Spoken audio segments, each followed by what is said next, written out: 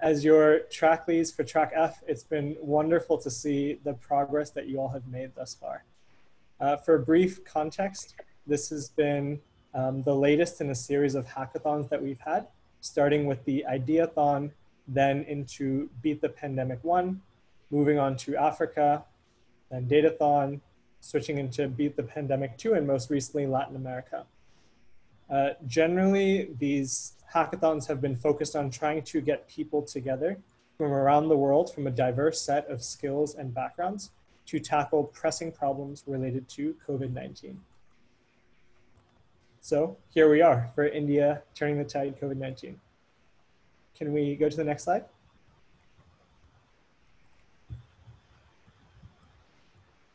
Great. So in this track in particular, we're looking at how can we strengthen coordination across healthcare institutions, both public and private. This is a pressing and time-sensitive need to facilitate information throughout. So we've listed a few questions initially that we posed to you all, such as how can we collaborate to build more integrated systems? How can we help healthcare facilities track the availability of resources such as beds and communicate information among public and private institutions? How do we take advantage of available data to plan for surge capacity and potentially convert facilities into COVID-19 care facilities? And finally, how can we uh, bring together the government and private hospitals to coordinate costs of care for COVID-19 patients with more transparency and efficacy? These are again, just a sample of the questions that we had started out with, um, but I think a good place to start us out and we'll sort of see how that evolves as we go to our teams.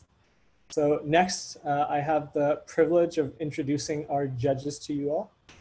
Uh, first, we have Dr. Anil Purohit, who's the founder and CEO of Jodhpur School of Public Health in Jodhpur. He's involved in a variety of academic and public health institutions globally, with more than 25 years of experience in establishing more than 44 public health, AIDS IVF, stem cells, and clinical research training, counseling, and education programs globally across Africa, Asia Pacific, Europe, West Indies, and the USA. Welcome, Dr. Purohit. Thank you, Matt. Next, we have Dr. Bob Bollinger, who's a professor of infectious disease, public health, and nursing at Johns Hopkins University. He's worked with colleagues on a variety of issues across India, including infectious disease research and education projects for the last 40 years. Welcome, Dr. Bollinger. Thank you, Matt. Um, unfortunately, Dr. Rao was unable to make it due to a last minute uh, personal emergency, but he sends his regards and looks forward to supporting you all as we continue from this hackathon. Next, I have the privilege of introducing you to Dr. Rati Godrej, who's a graduate of the UCLA uh, School of Medicine in, in Los Angeles. She's a physician certified by the American Board of Internal Medicine who currently lives in Mumbai. She focuses on improving a variety of public health initiatives in India and is an active member of the Executive Council Board for the Public Health Foundation of India in New Delhi, and also a member of the T.H. Chan School of Public Health Research Center in Mumbai. She's a member of the business family, of the Godrej Industries Group, and a and as a physician, she's particularly interested in improving and implementing programs in the workplace to improve mental health, physical health, and well-being of all employees. Welcome, Dr. Godrej.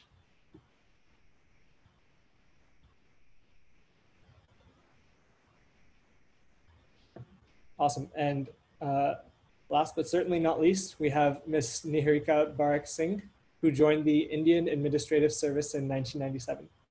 She belongs to the state of Odisha where she completed her school and college before joining JNU for her master's in sociology. She's worked in the government of India as the director for the Department of Economic Affairs, Ministry of Finance, and Joint Secretary, Department of Food and Public Distribution, apart from many broader governmental duties.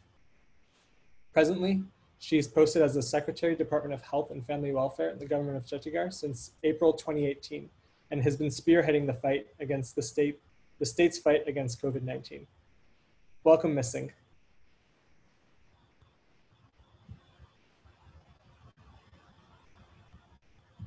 Great. If we move on to the next slide.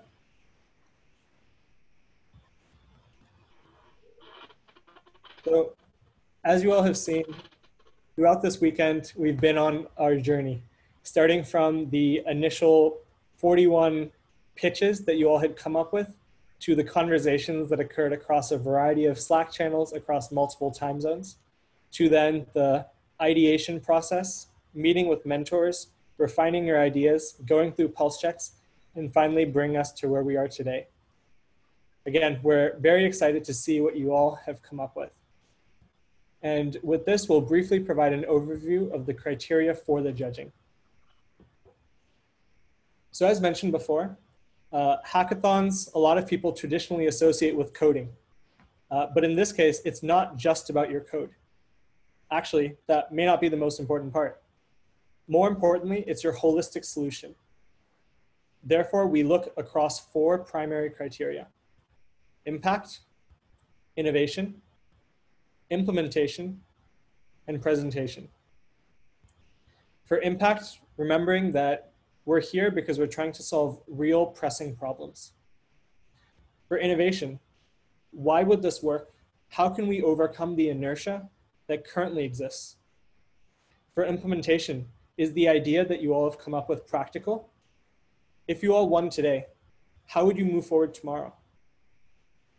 And then finally, presentation how effective was your presentation?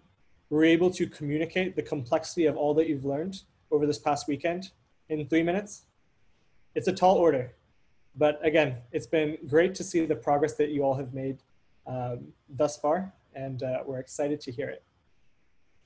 So moving into logistics, once we start very shortly, we will be recording the presentations. Uh, we again have suggested that you limit the communication to one or two during the pitch, but when it comes to Q&A in the last two minutes, uh, you're welcome to switch in order uh, for whoever feels most comfortable to address the question. We will, uh, please keep your background noise muted and Vikas will be driving forward this presentation and providing a heads up uh, in the chat when you have 30 seconds left. Finally, at the end, when we're done with the session, the judges will move into deliberation, where four winners will be selected amongst the teams. And next slide. Uh, so again, for the next team, please raise your hand. For us, this puts you to the top of the Zoom session for us to be able to unmute yourself. Then again, we'll kick off into our three minute uh, presentation that will start. We'll give you your warning and then move into our time of Q&A. So first off, we have team 24. Give me one second. I'm trying okay. to figure out.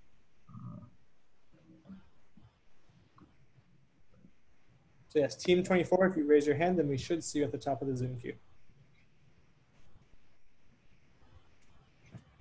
All right. Team 24, your time starts now. Thank you, Matthew. Warm greetings to the respected judges and everyone else who's present here. The name of our project is COVID. Next. Imagine the grief faced by the family of a poor middle aged man who died of SARS CoV 2 in Mumbai. He couldn't receive treatment because he was turned away by the hospital. This is the reality in India. We have one doctor for approximately 1,400 people below WHO's prescribed norm of having one doctor for every thousand people. Next slide. And this statistic gets worse for other allied health professions. This is more acute for COVID 19 since interventionalists and infection control specialists are few in number. Initially, during the pandemic, a national lockdown had been imposed. But due to the lack of planning, management of resources, and the coordination between the government and the private sector, the situation got worse. Next. So, how do we approach this? Our solution is a three-step approach. Next, we will collect real-time data to create a centralized inventory and use it as an input to build a machine learning mo model that predicts outbreaks. The inferences from the model can be used to allocate and transport resources. Next. So how does it work? Let me provide some context. Next, we start by reviewing real-time data from mobile health resources. This data includes stats about the patient's health, like temperature uh, and oxygen saturation level using sensor-based equipments. Next. To build a central repository for resource management, we will be collecting from data from various governmental agencies and private suppliers, allowing for microscale and macroscale inventory management. Next. The collected data will be analyzed by epidemiologists who will work with data scientists on predicting the location of the outbreaks. The inferences from the real-time data will help us build a more precise model than existing public repositories. Next. Based on model predictions and demand, we will collaborate with logistic companies to transport and allocate resources. The catch here is that the healthcare institutions can act as clients as well as suppliers. Therefore, the concerned authorities will be prompted using automated systems. Next. This is a value proposition. Our business model will attract investment and funding from various kinds of entities. This will help build a collaborative ecosystem that includes the government for management, mobile health companies for marketing, logistics companies for partnerships, and universities for research opportunities. This kind of research rationalization will be time efficient, cost effective, allowing for the combating of future pandemics as well. Next. Our team consists of software engineers, machine learning scientists, data analysts, medical students, and authors, allowing for a diverse variety of people. As part of our future plans, we wish to focus on the private healthcare sector of India. More than 60% of all hospitals are privately owned and don't fall under a direct authority such as ICMR. Our idea will be able to serve as a web of communication for these private hospitals. Thank you. Great. So at this stage, we'll open it for questions. And Vikas, could you please start recording? It's all recorded. Oh, great. Awesome. So judges, we'll kick it off to you for any questions for the team.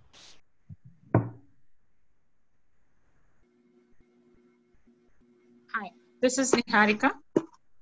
I, just want to ask you, um, there are so many models, epidemiology model and, and such predictions which are there uh, on, on the shelf right now. Why do you think yours is something different? Yeah, uh, thank you for the question, ma'am. So uh, the thing uh, which we are focusing on is real-time data. So right now there are many uh, public repositories from which we can fetch the data, but all those data, all that data is underreported. So ours will be, uh, so what we are focusing on is real-time real-time tracking. So that could be uh, using, you know, sensor-based thermometers or oximeters to monitor the temperature, or there are other devices like Fitbits which can monitor the heart rate and stuff like that. So we'll be focusing on the real time data so that in advance we can get to know the hospital or the COVID care facility, it can be prepared accordingly. I see. Okay. Ma'am, plus uh, we are not just a mathematical model, we are something more than that. We provide logistics too, and uh, uh, we are we are trying to make an inventory too, and we will use data to uh, aid other organizations too. So we are not just a model. Well, you mentioned that you will be supplying logistics and other things to all hospitals which are uh, probably doing COVID care right now. So uh, if you if you uh, know about the government public sector, there are certain rules and purchases and other things. How would you fit into that?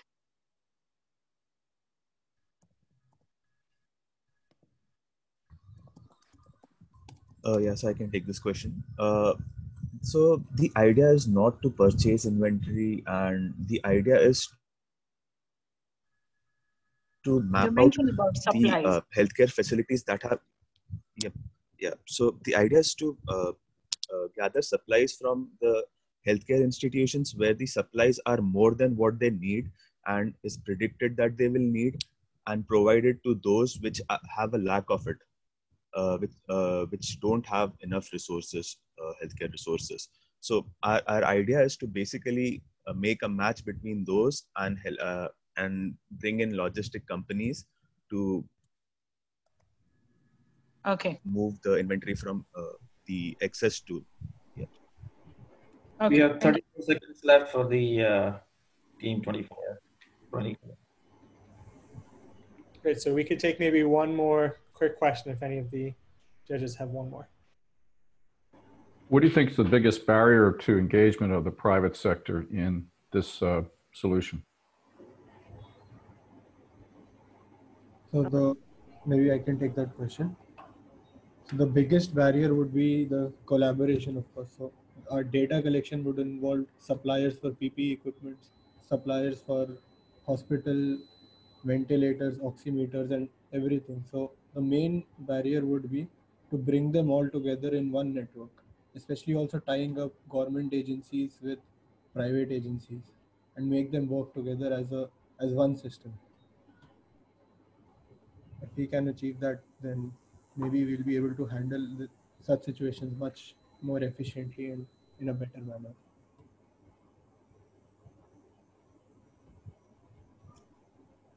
Awesome. Great. All right. Thank you, Team 24. We'll now move on to Team 32. And next up, Team 23. So Team 32, the floor is yours.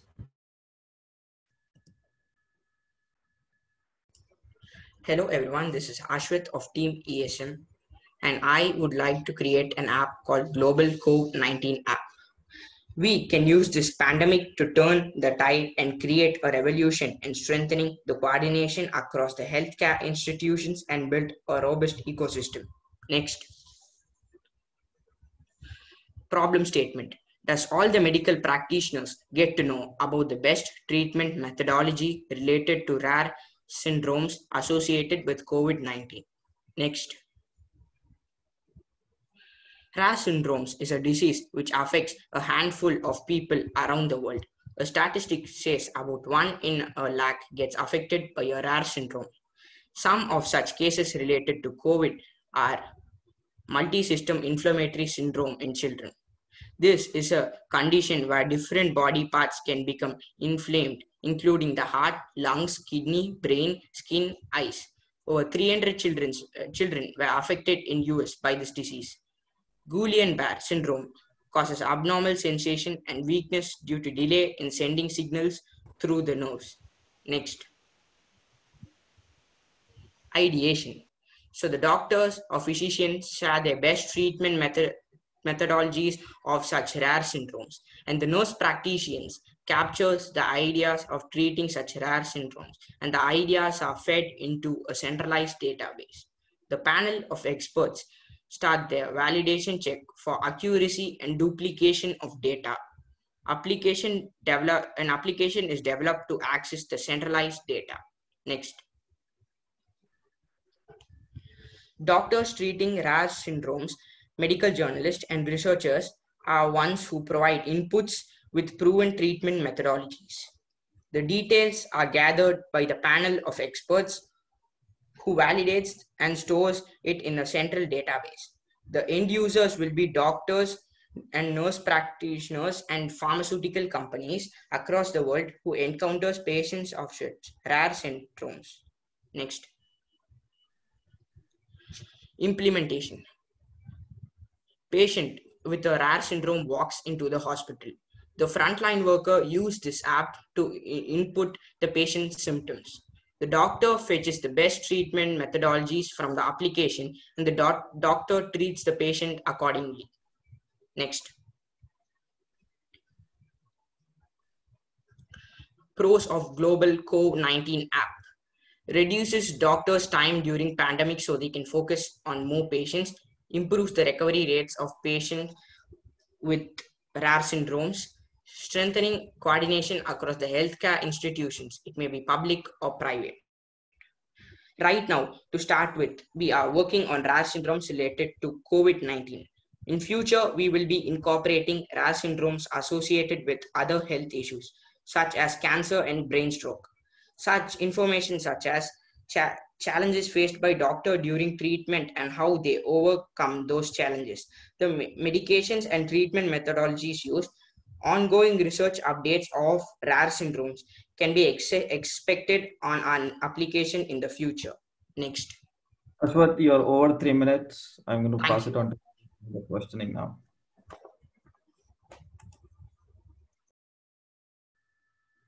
Judges, go ahead with your questions, please.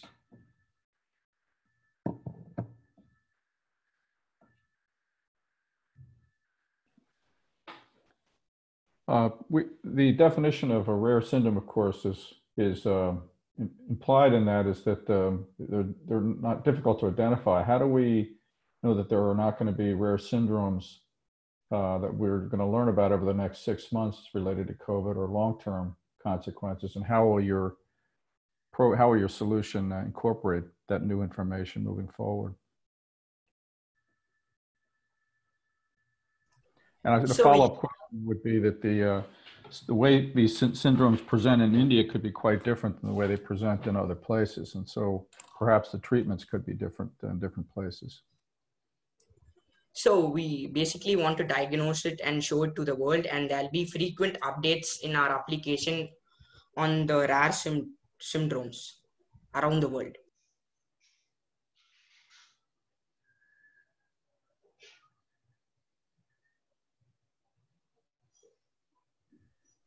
I have a question. This is Niharika here. Uh, why have you picked up rare syndrome? You know, COVID is affecting the entire spectrum of uh, diseases. It uh, affects people with hypertension, diabetes, cancer. Why rare syndrome? Do you have data in India? How many patients with rare syndrome been affected by COVID?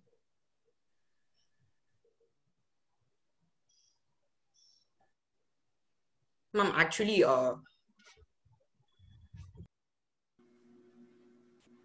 Yes. To recognize a person affected by COVID with a rare syndrome, it's a bit difficult. So that's why we have invented this app, and about one lakh around India has rare syndromes in COVID.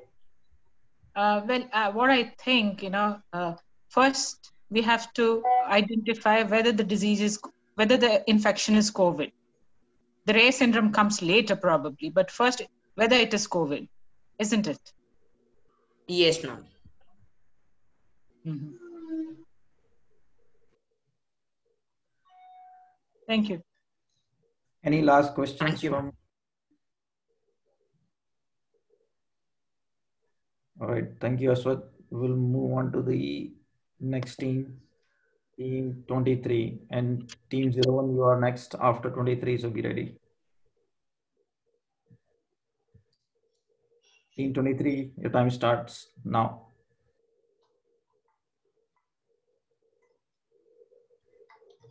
23, you ready?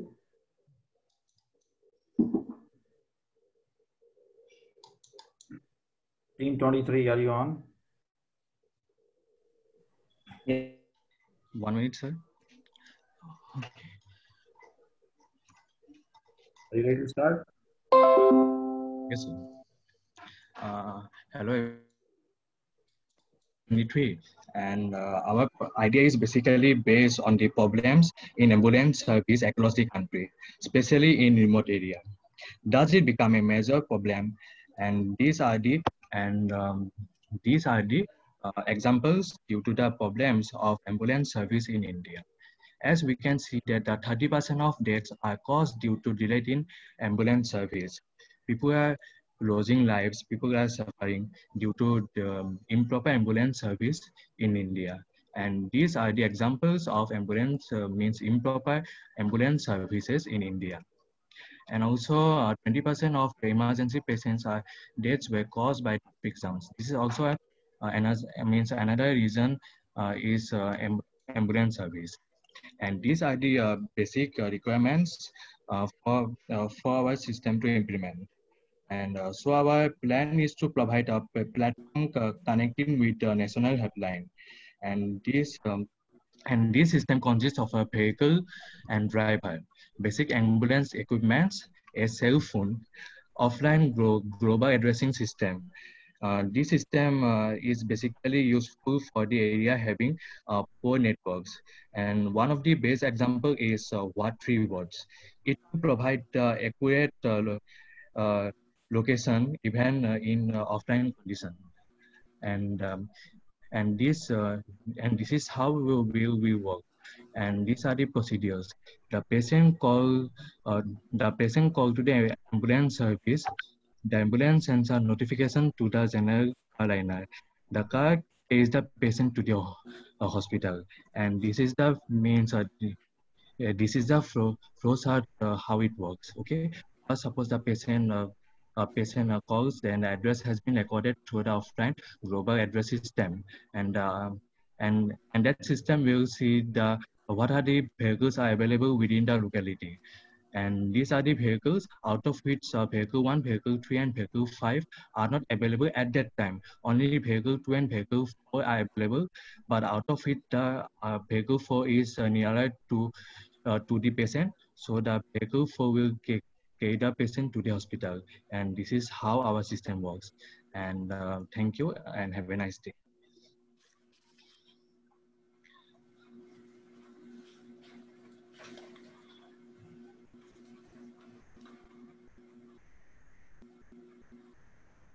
Judges, questions for team 23?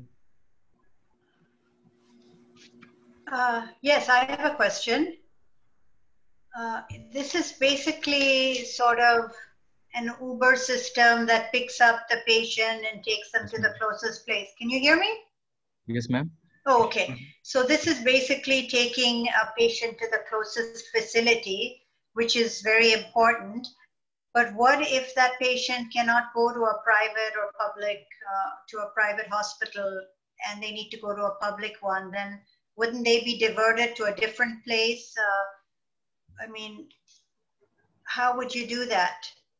Because not everyone would be able to go to a public one and not everyone would go to a private one. So would you sort it out as to where they're going or how would you do that practically? Or would you just take them to the closest place? Is that what you're working on? Ma'am, uh, at least nearby can help the patient. The nearby people which is available at that time, they can at least help so that uh, they can at least get the means a good fame and that's it.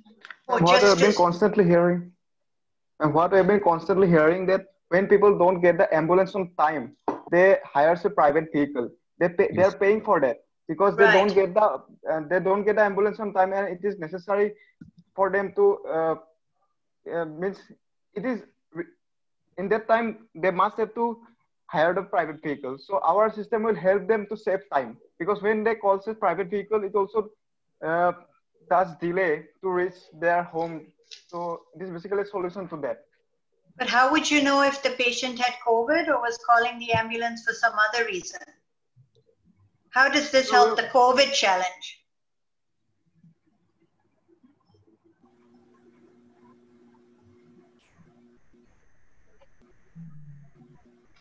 Sorry, could you hear my question? Yeah, I can take that. Uh, hello, am I audible? Yes. Yes. Yeah, actually, when the patient calls uh, call, means calls our service, then uh, it's not necessary that we only uh, means carry the COVID patient, but Okay. means uh, uh, but means right now the COVID patients are more uh, in the locality or something. Means COVID nineteen is the that a patient could have this disease.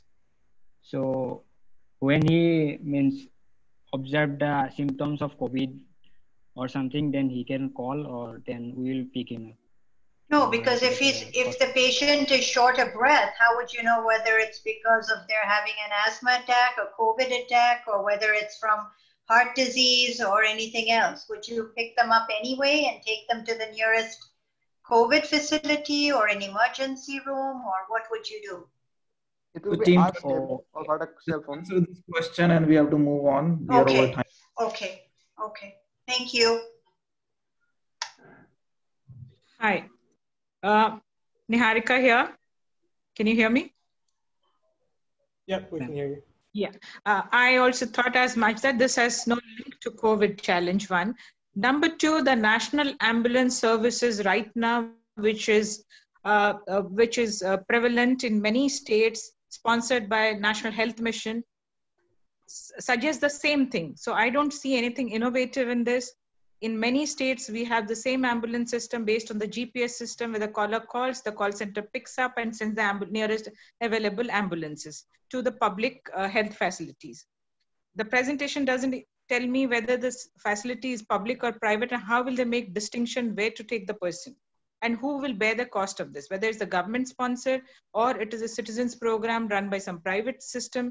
It is not very clear on that.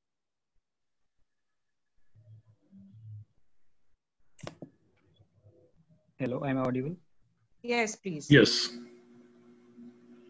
Uh, actually, uh, when patient just briefly, means, we'll, we'll uh, give you just like uh, Uber. Hello. Yeah, Excuse uh, please, Yeah. you, you have 30 to 45 seconds to address the question if there's anything you'd like to respond to. Otherwise, we need to move on to the next one. So go ahead and provide a response if you'd like. Okay, just like Uber means uh, we set up a destination. So here also we will ask the patient then where he, he wants to go. Means he wants to go to a public public uh, hospital or a means private hospital, and we'll uh, means we'll pay uh, fees him means he have to pay accordingly. Means if you go to public uh, public hospital, then uh, it will be some uh, means government will pay some uh, some percentage and if he goes to private then he have to pay the full fees Actually, ma'am, uh, Yes. actually, ma'am, in this case, uh, in the metro cities or in the towns, it has been already developed. We are mainly focusing on the rural areas where the service is not adequate. We are actually uh, focusing on rural areas because we need not to solve this problem in the uh, metro areas or the developed areas. So mainly our our target is to focus on the rural areas where people are suffering due to the lack due to the delay of ambulance. Because I've, Thank you, I've been constantly 24. hearing Thank you, Team 24. We're going to have to move on to the next team. thank you sir Thank you. Team 001, you ready? Yes. Time Yes, now. we're ready. Go ahead. So next, please. Uh, welcome, everyone. I'm Pranav, representing the team White Walkers. Before we begin, I need to tell you why we signed up for the hackathon this weekend. So last month, three of my relatives contracted COVID-19. No one in their community showed any symptoms, and hence the community was totally unprepared to handle this. One fine week, they were admitted to the hospital for breathing issues, and a week later, mother, father, and daughter all dead. Next slide. It's not just my family. My team members and all citizens of the world have seen preventable deaths, proving that we still can't effectively track COVID 19 today. And it follows that we can't predict a resurgence in the future. We're in the midst of this tough situation where we're always running after the virus instead of staying ahead of it. It's destroying our healthcare and economy and any collaboration between any institutions. Next slide. So we present to you a solution that gives us hope in these troubling times that we can actually turn this tide around wastewater biosensors to track COVID for better collaboration across healthcare institutions. Next slide. Before we go further, why wastewater monitoring? Uh, next slide. Because we are able to track the virus anywhere and anytime through a community focused, fully automated, and real time approach that is sustainable for all future viruses. The presence of COVID 19 in fecal matter is well established, proven by MIT's very own BioBot group, who observed SARS-CoV-2 from RT-PCR tests in the sewage pipes of USA and publications in Lancet 2020 confirming that even asymptomatic patients shed the virus. Next slide. By utilizing biosensors, we are foregoing many of the difficulties of lab testing on wastewater, including mass mobilization of workers, risk of exposure, the delay in results, and as well as lab tests being an expensive resource. Next slide. Here's the schematic of a wastewater biosensor. It collects sewage samples from the sewage line, filters and prepares it for the biosensor, and the output signal is communicated with the cloud using a centralized IoT network. The entire process is fully automated and doesn't require any human intervention. Next slide. Zooming out, the biosensor network helps provide real-time open source data about risk-prone communities to public and private healthcare institutions. They use this data for better allocation of PPE, test kits, doctors, and ICU beds, as well as for smart lockdowns and opening up local economies. Next slide. After testing the finished prototype in Chennai in our proposed timeline, we would be expanding the biosensor network to major metro cities. We would go, go ahead with the data analysis and inferences, and we would share the useful data across healthcare institutions, both public and private, improving allocation of doctors and ICU beds to risk-prone areas and establishing essential lines of collaboration between the two sectors. We estimate the running cost of the biosensor to be around 75 US dollars per month. Next slide. We want to transform India into a pandemic prepared world leader for the future. India could create the sewage monitoring infrastructure today instead of importing the technology tomorrow, saving thousands of lives in the next phase of the pandemic. Next slide. In conclusion, join hands with us in laying the foundations towards better healthcare collaboration now and in the future. Let's track COVID-19. Thank you so much for your time, and we're very happy to take questions from the esteemed panel.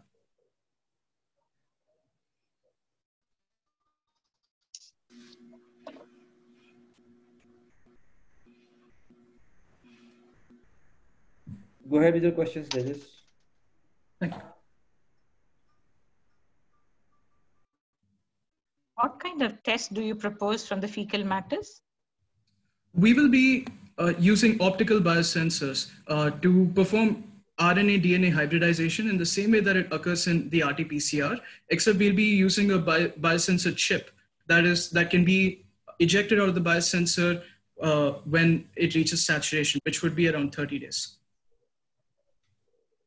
So we are detecting viral RNA. Sorry, had to add that. Okay. What, what, what would you detect? E gene, N gene, or what is that you will be detecting in the fecal matter? Um, we've seen through uh, cutting edge research that's happening lately that uh, all all uh, the the N N1 to N3 genes have proven to be useful biomarkers in uh, for, to present in the wastewater, and we could capture uh, we could capture them. Yes, we could. Do you have a technology for this? We we don't have a prototype yet because we we found this idea and we thought that it's incredible that uh, that there was a quote that we came across which is very telling. In in one liter of sewage water, there's an ocean of information, and we thought it's it, it that it would be a great complement to the current methods of testing to test wastewater monitoring to do wastewater monitoring as well.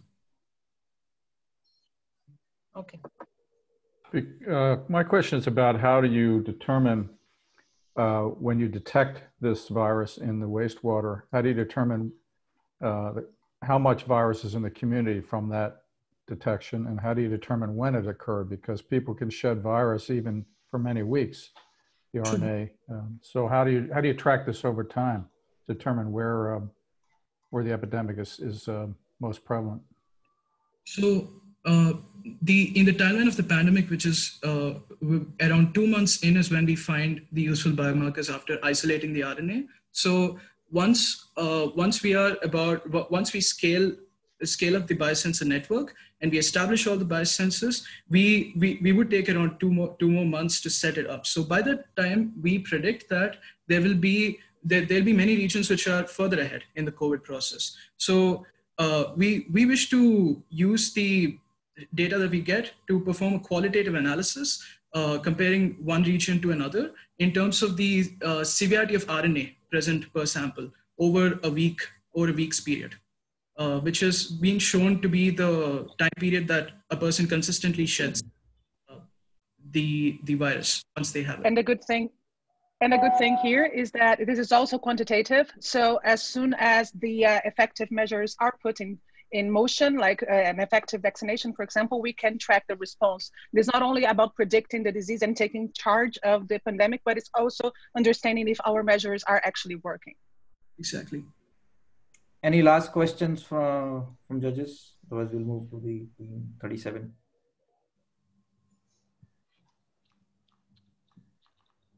Thank you, team. We'll move on to the uh, 037 now.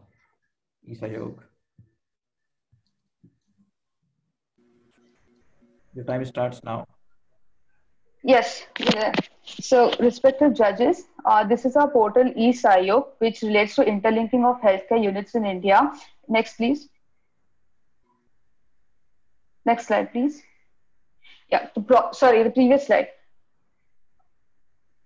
So the current problem in India is that uh, there is no centralized real-time repository that maps the demand and supply of healthcare facility. And this is happening on two fronts. First, for the citizens, there is no transparency on availability of beds in which hospitals, because of which they either end up with a compromised quality of infrastructure or they end up paying a higher cost. And for higher and for healthcare units, there is no uh, there is no pro, uh, possibility to share its infrastructure between itself or for that matter procure it from the third party providers next please moving on to the business model uh, we have determined that our customers would be citizens of the country, the suppliers, and the healthcare units. We uh, move on to a revenue stream, which is which would be a subscription-based charge, wherein we'll be charging a flat fee to the hospitals and zero fee to the uh, citizens. Initially, we would be providing the availability of beds to citizens as well as sharing the infrastructure. Going ahead, we would be doing a lot of forecasting using big data and uh, and would be encapsulating even the niche players. Next, please our uh, operating model is based on first of all uh, mapping the healthcare units and third party providers to the pin codes next please here is where the eSahayog which is means of the corporation comes in as an open portal leveraging the geo mapping using the pin codes and AIML to bridge the gap between the demand and the supply the main the, the main aim is to ensure the easy access, cost, effectiveness, and the flexibility while increasing the patient coverage and reducing the human effort. So here you can see a dashboard which has the overall bed management. What are the requests which are coming up with, with, the, with the different patients? Next, please.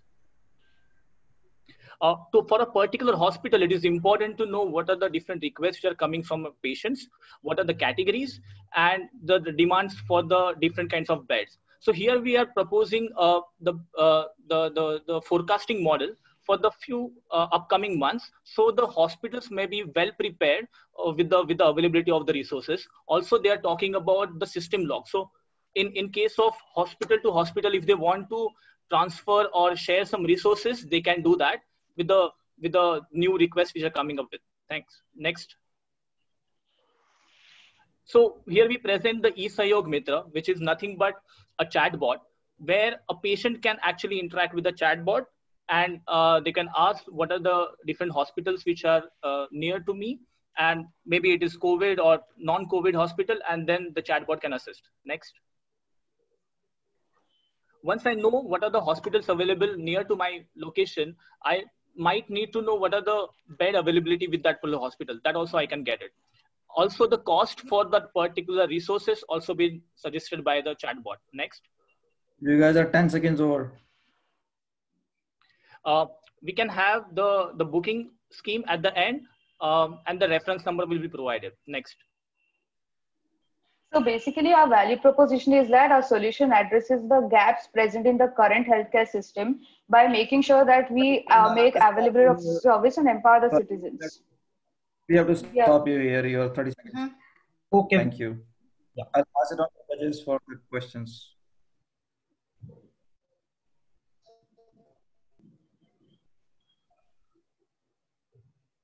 Panel, please uh, start with your questions.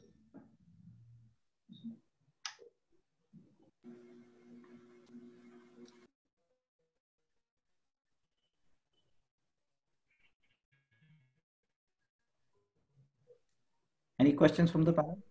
Yeah, uh, this is Anil. Uh, one quick question. Um, you said that uh, uh, your it's based on your operation model. Actually, has been these tested? Uh, has this model been tested, or uh, is it a reference? No, sir. Using? It's a reference till now. I, am sorry. This is a reference till now. We will. We are okay. going to. Yeah. Okay. All right. Do you have a reference? Do you know where, where is it coming from? No, sir. So we have made this since there was already a lack of facility like this, a portal and interface where patients can directly get such information before uh-huh. visiting hospital. So we have come up with this model now. Okay. So is this? Yeah, I have a question. Is this uh, really meant for just patients who have symptoms or no symptoms but want to get to medical care? Because what if they end up needing an ICU bed? Will they know if that hospital has an ICU bed or a plain admission bed?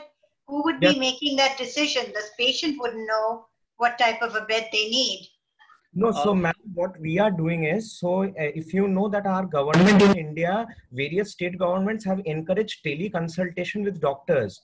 So in case what happens, in case sometimes a patient is said that okay, you should now visit a hospital. It's high time you go to a hospital now.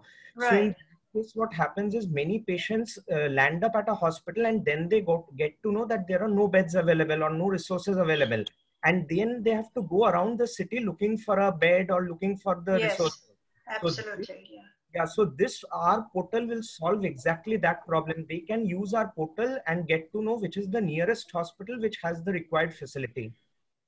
Okay, thank you. Yeah.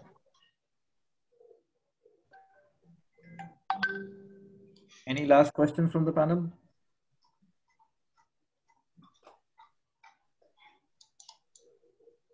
Okay, we're gonna move on to the team six. Thank you. Sorry, what team Thank was you that? very much. What, what team was that? Team 37. That was 37. Thank you. Thank you very much. Yeah, we are also posting the team numbers and names in the chat if that helps. Okay, thank you. And everyone. Okay, so next is team six, and after that we'll take team 98. So team six, your time starts now. Hi, we are here with our keyboard card. Meet doctors next. Meet Dr. Sarma. He is a doctor in the private healthcare institution and is focused facing a problems in accessing the past useful record of a patient who is a critical situation. This is because the patient has done his earlier medication in public healthcare institution. Similar problem is faced by Dr. Sinha, who is in public healthcare institution. There is a huge communication gap between both healthcare institutions. Next, there are significant information asymmetry and a lack in communication of necessary data across the public and private healthcare institutions. There is a pressing and time sensitive need to optimize and facilitate the information sharing across public and private healthcare institutions because it poses extra problems for the doctors in this pandemic situation.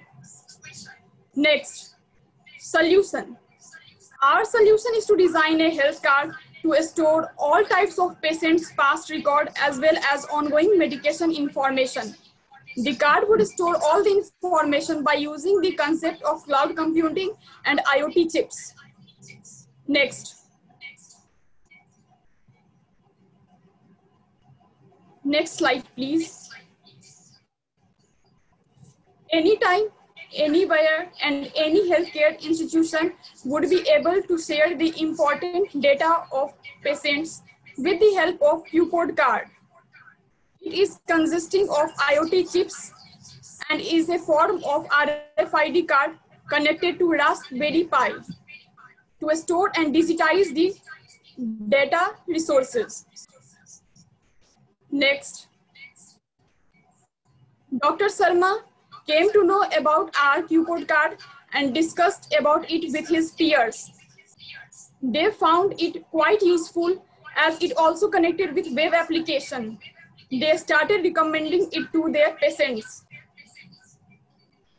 We have done the market research and found that health card can be easily made available within rupees 100, which is quite affordable in India. Next, the use of secure QPOD card, encryption and other cryptography measures make it extremely difficult for unauthorized users to access our information. Hence, it would help in meeting the HIPAA privacy and security requirement.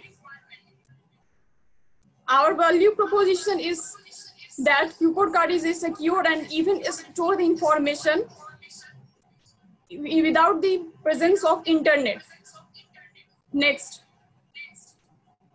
the output would be easy information sharing. You are over time, uh, so we're going to have to stop you here. You're 30 seconds over. Thank you. I'll pass it on to judges for questioning.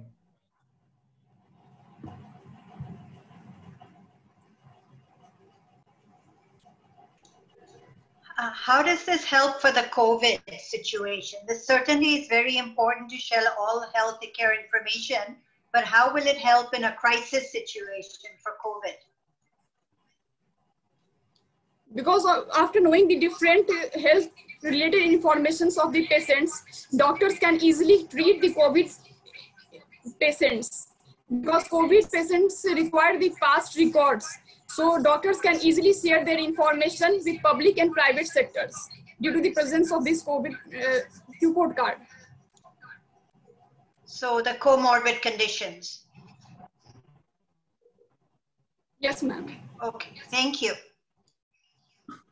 Hi there. Could you uh, explain a little bit more about how you're proposing to uh, import and, and harmonize all the different data sources from the public, private sector, laboratories, pharmacies? There's a lot of different data sources that would presumably need to be integrated and harmonized for this to work. How, how would that be done?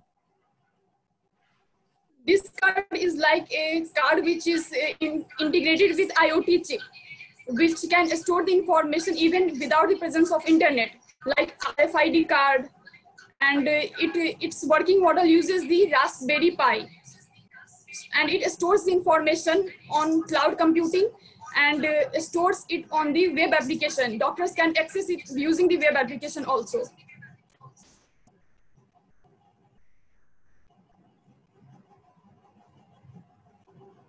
it would be connected to the web application. Therefore, the doctors would be easily integrate with the web application and get, get all kind of informations easily. But how would the information get in into the system? I understand how the how the clinicians and patients could access information once it's in the system, but how would laboratories, for example, and, and pharmacies and multiple hospitals and outpatient centers allow their data to be accessed by this system? for security purposes, it would be further integrated with the Aadhaar card, which is unique for each and every person in India especially. So there is no any problem for us and it would also follow the HIPAA guidelines.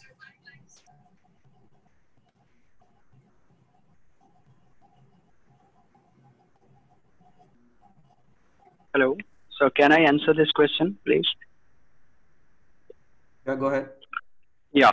So, uh, for example, we use ATM card, and for example, we have SIM cards in our phone. Similarly, we can have a vending machine where a person goes and a doctor can a a vending machine can be in the hospital. The card is swiped at the vending machine, and any information that is to be transmitted to the card that is being fetched to the vending machine through pen drive or any through a digital medium like I transport from my computer. And as soon as the data gets into vending machine, it would be stored on that person's card. As a verification method, that uh, data goes onto that person's card only. We are using the Aadhaar card authentication. For example, uh, in India, you can use the Aadhaar card to get the payment out of it Sim by just using the fingerprint. Similarly, uh, fingerprint would be also be enabled in it. And after if uh, after in wording uh, vending machine, you swipe the card, you uh, place your finger, and it gets a verification. Yeah, it's you. Then we can then the data can be transferred person's data can be transferred into the card. And now when you will go to the next uh, institution, healthcare institution, the same healthcare institution can swipe your card, get your authentication, and your, whole your previous data would be available. Similarly, now for, yeah, yep. Thank you for all the, for your presentation and answer, answering the questions. We're gonna have to move to the next team now. Team 98. You are up. Ready to start? Yeah. Okay, your time starts now. Good morning, Boston, and good evening, India. We are the lads, and we're going to present about the COVID care management system. The next slide. The next slide uh, depicts the disturbing news about the unavailability of beds to COVID patients and the inability of hospitals to treat the people with medical emergencies, as most doctors are involved treating the COVID related patients. In the next slide, we can observe a contrasting situation where the gross mismatch between the healthcare delivery and utilization can be seen. The next slide, please. Uh, in the right, we have the Indians who do not, um, we have the urban Indians who do not visit hospitals, though they have lots of hospitals in urban areas, until they're critically ill, fearing that they may get infected with COVID. And in the left of this image, we have the healthcare center in one of the rural part uh, where there is insufficient resources to treat the patients. Uh, moving to the next slide. Uh, the development of a robust unified po portal for pooling of resources and treatment of patients by merging the private and public sector under one treatment and one cost scheme is a solution that we are pitching. Next, Next slide. slide. Our main idea is to isolate the COVID-19 management system, CMS, from the mainstream healthcare system. In this system, the cost would be regulated and the resources are pooled to ensure the availability so that everyone has equal access to medical treatment despite the financial constraints. The main benefit of the system would be that it would reduce the overcrowding at hospitals and thereby reducing the burden on the healthcare system while regulating the cost for everyone. Next slide, next slide please. Upon testing COVID positive, the details of the patient come to the system through the authorities. The patient is then picked up from their home, that is door to door pick up and drop. The system then randomly allots the nearest and the most suitable healthcare facility to the patient by keeping into account the patient needs. The patient is then treated for COVID-19 and the facility in the facility and upon testing negative, the patient is discharged. Next slide. The CMS, which is the COVID care management system, helps benefits the people, the healthcare worker, hospitals, and India and the country as well. It benefits by over, uh, like overcrowding is avoided and the responsibility is evenly shared. It helps in early flattening of the curve and reduction in the COVID-19 mortality rate. Next slide. A similar system called as the RNTCP was followed to control the TB outbreak during the early 90s, where all the hospitals, irrespective of being public or private, were unified and as one and under a 100% centrally funded program. This is very effective till today in controlling the TB, and as we uh, we also expect the CMSs uh, caters the need of the hour. In the next slide, uh, we, we find the most important part, that is the implementation, where we find we, where we aim to uh, pool all the resources available so as to ensure even distribution throughout the country and form a separate governing body to ensure smooth working. And all of these are brought under one robust umbrella that is the CMSs. And this will also in, uh, ensure that the whole, whole uh, system, the healthcare system works efficaciously. In the next slides, uh, we also have uh, depicted the workflow of the whole system by the means of uh, apps, which are also depicted in the next slides by use of KNN algorithms. Next slide. you can please go to the next slide. Please move, keep moving. Yeah, this is our team. Uh, it is a quite diverse team from people from both India and China. And also the next slide, uh, the, the next slide. Uh, this is some of the reviews, uh, ground reviews that were conducted from doctors uh, from various parts of country and what they think about the system. Thank you. Thank you, team. You are 30 seconds over. So I will now invite our judges to for their questions. Hmm.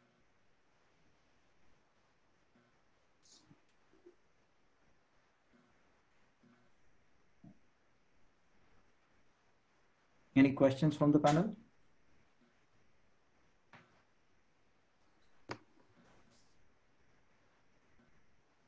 Uh, thank you. The, uh, the RNTCP program, uh, as you mentioned, has been quite effective, but one of the challenges has been it's worked quite well in integrating the, the public sector, but less well with the private sector. And how would your, how would your overcome some of those issues? Mm, I will take up this question, sir. Actually, even in RNTCP, it is under the broad under control of the government. Sir. It's not a description between the private and public sector. It is a own self-governing body which treats every person irrespective of his financial status.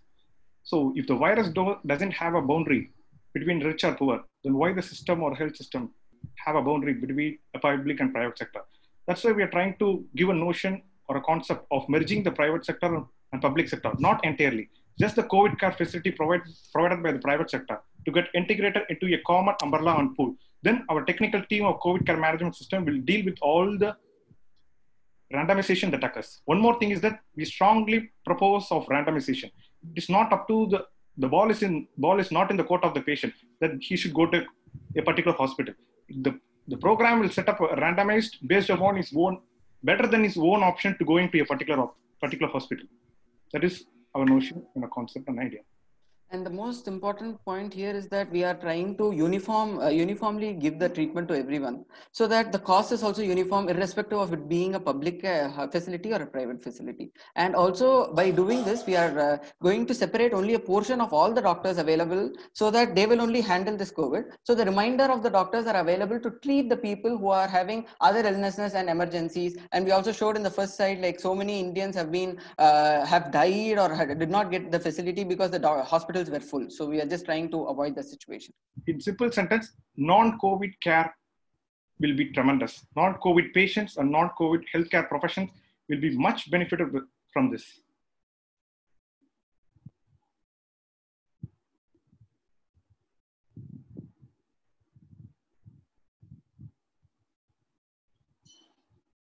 Are there more questions from the panel?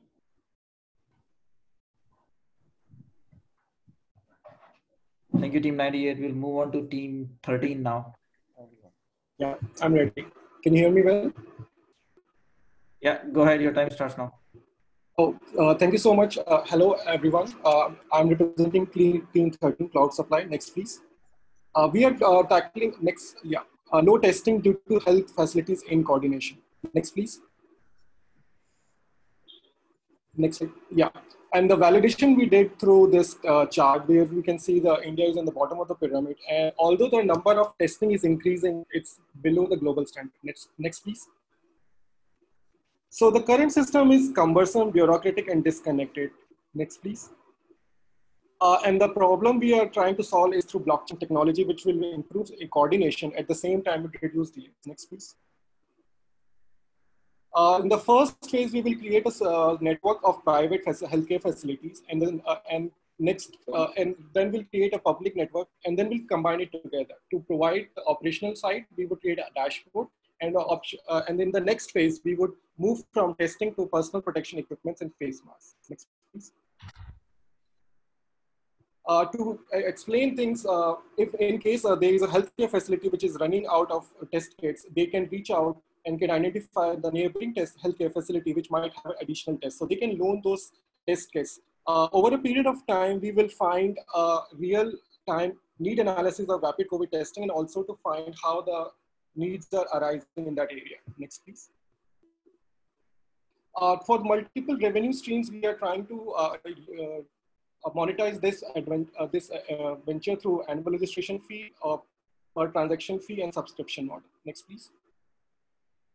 Uh, and to market details, we thought that uh, uh, the annual average cost of COVID test is 2,000 INR currently in India. We are hitting around 10 lakh tests, so that, that, that calculates to 200 crore total. If we uh, aim at 10% of market in six months, that would 20 crore. And if through 5% uh, efficiency we add, that's a saving of 1 crore per day. And we charge 5% for those char uh, savings. That would be 5 lakh INR per day as a revenue for the system. next, please. Uh, we will be scaling it up in a phase-wise manner. We will start from the state and go national. And maybe uh, if things go well, uh, well we will go international. Uh, part of the revenue would be used to generate the supply system in the rural areas of the country also. Next, please. Why us? Because we have two years of real world experience of using blockchain. We are a multinational team and the scaling up is not only possible in India, but is also possible in uh, high burden countries. And the next step of what we are aiming at is to do a sort of a pilot at a district level so that we can get real world experience, uh, find the pain points that we might not have covered, and then scale it up based on the feedback. Uh, next, please. And we have a team member from Peru, Honduras, uh, and we both are from India. So that's what we are trying to solve. We are trying to solve this uh, pain point of coordination using the modern technology in a most uh, democratic and transparent way. Uh, that's it from my side. Happy to answer questions. Thank you. Thank you. I'll invite panel to the end of the questioning.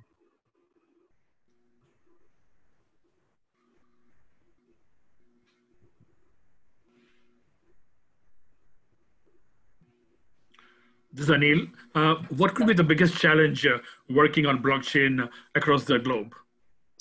Uh, the biggest challenge is novelty of this uh, technology. We know that there are some companies in India they are using. In fact, there are some logistic companies who are using it, but we haven't found anyone trying to use it in the healthcare system. Healthcare system is precarious in the way that uh, the data is very uh, precious and life depends on it. So that's why we want to try at a smaller scale at a district level and iron out the real world challenges and that we could go up. So the novelty of the technology itself would be uh, exciting factor. At the, at the, same time, it can be limiting factor to generate trust in those people who want to give it a try. So they might be using it in the health sector in India for sure, but maybe not in COVID-19. That's what you're trying to say? Yeah. Okay. Thank you. Thank you. I would like like to add one more point that uh, we were we were initially thinking of machine learning and deep learning models to predict our data, but um, lives are dependent on our predictions. So we we uh, went to a more reliable technology called uh, blockchain. Sure. Thank you. Correct me if I'm wrong. This is Niharika here. What you are trying to solve is that uh, data that is uh, uh, uh that is compiled through testing. Um, you know, we are trying to solve uh, democratize and transfer, uh, bring transparency to the inventory. So there might be healthcare systems in the same city, like I'm from Varanasi, there might be different hospitals who would have testing kits at different numbers. There might be a rush of patients to one facility and they might be running out of it. So the next possible option would be to order those tests and that might take time. But in case they have a neighboring healthcare facility who might have access or have some reserve, so they can loan it from them for time being and uh, that would provide, so every healthcare facility is consuming test kits, but can also be supplier for the other healthcare facility who might be running out of it in the time being, because that's the need of the time to test it and test it as soon as possible. Well, I doubt that is the real problem because most of the testing facilities are run by the public sector and some by the private sector. And the public sectors actually know where what is already available because they are all linked through the ICMR database. There's the ICMR portal where all the uh, available inventory is there and we know where what is available. So even if it is available, like to uh, send the material, we'll need some communication between the centers, right? That is why we are using this technology. Right now icmr supplies to all all. We on a real time basis we tell them what is where lacking and they sell, send it to us or send it to our central go down and then we provide to all. We are on a real time network to know which laboratory has what and what it doesn't have. Yeah basically we were thinking of localizing it like in the local community. Suppose uh, an hospital is near uh, nearby not to the go downs and stuff but a hospital can donate to another hospital if it has a surplus of uh, resources and all that. Okay. Okay.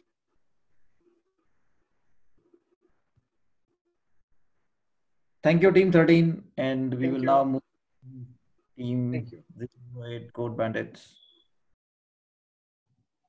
Are you guys ready? Yes, sir. Uh, good evening, judges. We are Team Code Bandits. Uh, can you please move to the slide, please? So we are developing a resource management system. Are Team Code Bandits. And next slide, please.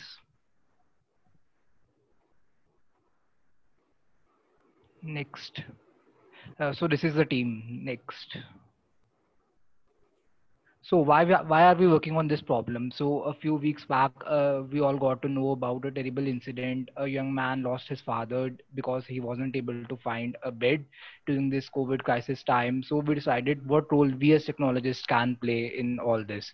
So what is the problem? The lack of management and coordination among various hospitals whether government or private and government is other government institutions regarding beds PPEs and the various medicines like Fabiflu and Remdesivir, leading to sub- suboptimal use of resources. And the information should be available to the public. Not all the information, but some information for sure. Next. So this is the COVID-19 starts and this uh, shows have a role and we would definitely have to learn to live with the pandemic. Next.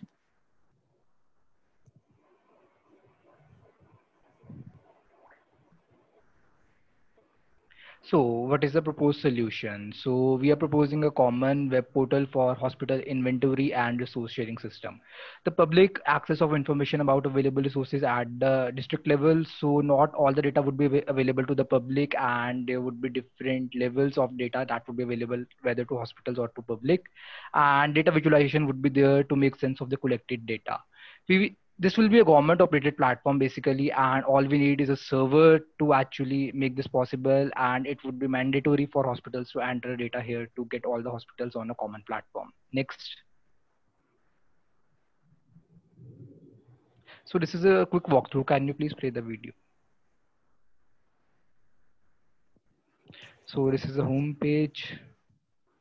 Here you can see where the beds are available and you can search according to the city.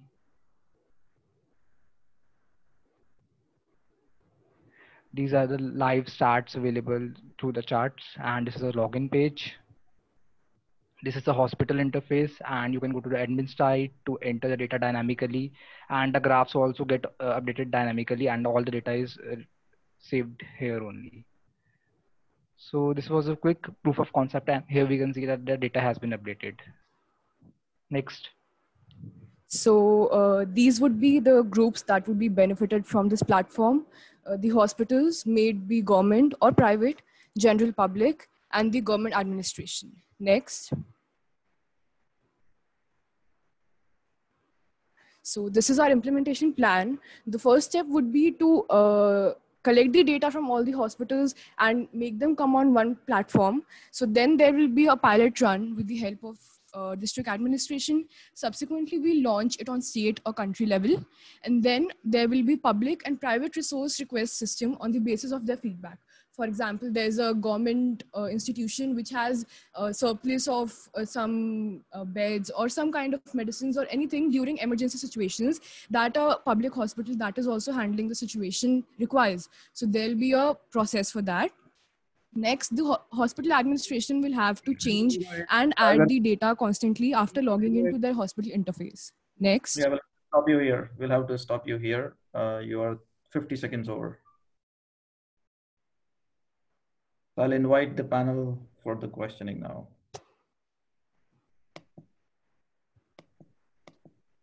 Hi, this is Niharika here.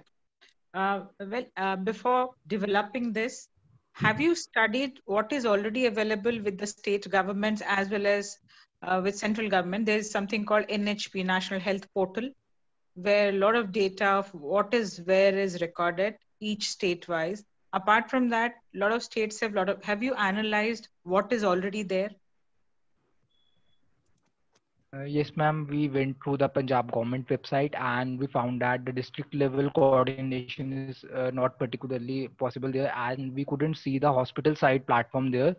I think that would not be available to the general public. So that is what we saw. District level uh, website certainly there, but uh, some all districts don't have the resources to maintain that kind of thing.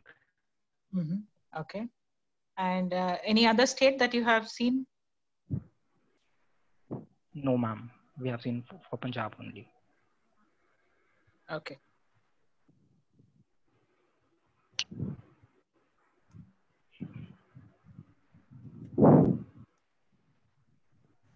Any more questions from the panel?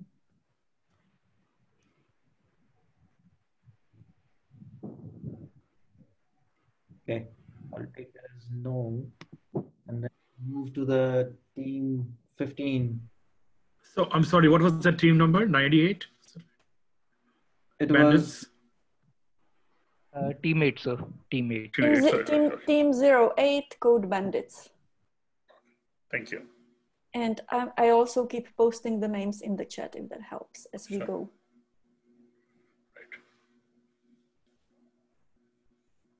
Okay, team 015, the time starts now. Hello, everyone. We are Team Co Connect, and we are here to connect, collaborate, and conquer COVID 19 and beyond. Next. Do you know that India has seen an upsurge of COVID 19 cases in its rural parts? To add on to that, we are facing a substantial shortage of specialized healthcare facilities. Next. The numbers suggest that there, there is a stark contrast of healthcare distribution between rural and urban areas. For 67% of rural population, there are only 33 doctors uh, available. Next. Let us now travel to a remote village in Uttar Pradesh where Dr. Meera aims to cure her patients. However, she lacks the specialized know how to deal with the diverse uh, symptoms of COVID 19. What could she probably do in such a scenario? Refer complex cases to a bigger hospital? Next. Introducing COVID, Co- Co-Connect, a mobile platform that offers consult, consulting to doctors like Meera who are based in a rural setup. Next. CoConnect categorizes rural cases as per their severity in a triage system, allocates them to the relevant specialists from the public and private healthcare, and supports them via calls, messages, and video, video conferencing with specialists. Next. We stand for empowering rural healthcare workers to timely and effective manage, manage their cases and reduce the spread of virus by minimizing the movement of patients um, for, to seek treatment. Next. So as for our business model, our key partners would be the government and private hospitals. Our proposed model reduces the cost, increases access and availability, optimizes time, thus saving lives. We propose that the public-private parties negotiate average price range for, their for the COVID treatment. Next. Looking at the current market, we have uh, Grameen Healthcare and a joint venture of government, Karnataka government uh, working with Apollo Clinic. However, we set ourselves apart from both of them in terms of direct primary healthcare sector and promoting a public-private partnership. Next. Uh, moving ahead, our uh, roadmap for QCO Connect is uh, to onboard our primary users by the end of September, and we are planning to release our MVP by January 2021. Also, uh, also we will uh, be further relooking at the post-COVID strategies for our platform by expanding our outreach to ASHA and Anganwadi workers for other prevalent diseases. Next. CoConnect is a scalable pan-India uh, platform, bridges the knowledge gap between primary healthcare sectors and and uh, specialist centers and also cost efficient. Next. So we are Team Co-Connect and we are here to the rescue of Dr. Meera and such. Thank you, everyone. I now invite the panels for their questions.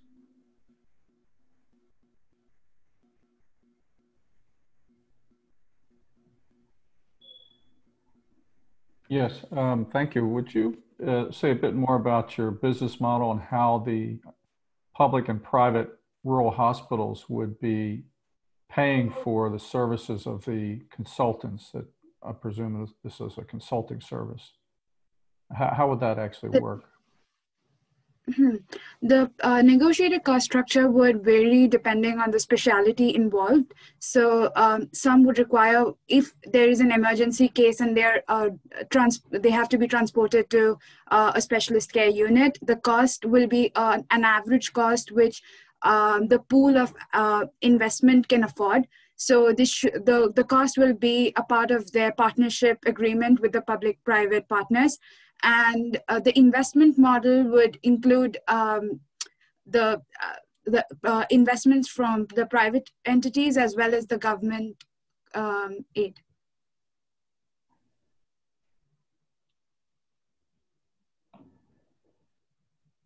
What would be the incentive for these hospitals and stakeholders to pay for this? Because it would increase the cost, of course, and presumably improve the care but but how how would um, how would that extra cost be covered? Um, our pitch is that um, the government has an, a vested interest in public welfare, and public uh, hospitals, being big corporations, are uh, are uh, required to invest two percent of their profit margin into CSR, so corporate social responsibility. And in a time such as this, nothing more than COVID can be a better social cause. Thank you. You you mentioned consultation. Uh, how, how what is the method of consultation? Will, will it be a teleconsultation? Um, we're looking at uh, telecon teleconsultation via uh, so the data of the patients can be uploaded on the on a, on uh, CoConnect as a portal, and uh, the the specialist can have a look at uh, basic information about the patient that, that can be recorded at the local hospital and uh, will give them uh, either by prescription or by a video conference with the local doctor. It's a B2B service where the doctors can collaborate and come up with a treatment um, which is of the nature that will help the patient. Are you, are you suggesting a hub and spoke model where the doctors, consultant, specialist will be in a hub and the rural areas can connect to the hub or are you talking about individual consultants sitting at the clinics or home and then giving consultation? as of now, the project uh, only aims at local doctors at one end, uh, local rural government doctors at one end, and private uh, corporations, uh, uh, private healthcare corporations on the other end. So we're looking for engagement of some um, pu uh, public health, private healthcare consultants as um, workforce that can be included in the model. So what what kind of patients they can take is just asymptomatic, mildly symptomatic, or they can also consult for the severe and moderately severe patients uh, Ma'am, I would like to uh, address that question by saying that uh, of patient comes towards the uh, local of, at the local end, uh, at least the doctor will be able to consult a specialist at that particular time. Uh, so our main aim is to give them the specialized care that they require at the time clinical guidelines and training so which will go a long way in uh, improving the rural healthcare system. Later on if they need to refer the patient uh, which can be done uh, the our main aim is to uh, prevent the transport of patients uh, if, as much as possible. And whatever can be uh, done at the local level will be done along with a specialized doctor looking after them. Thank so you what is the technology platform they will be using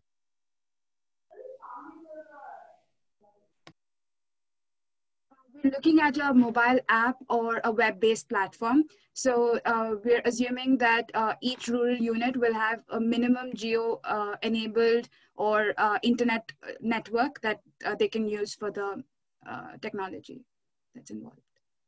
Mm -hmm. Okay. Thank you, Team 15. We're going to move it along. Next team, Team 4.